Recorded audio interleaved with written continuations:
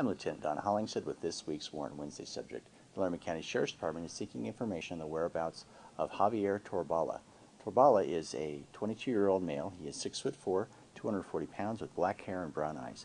He has a probation revocation warrant for strangulation of a household member. If you see or know where this individual is currently, please call 637-6524. For all other tips, please call Silent Witness at 638-TIPS or on the web at silentwitnesslaramiecounty.com. Let's work together, Laramie County, to get this guy off the streets.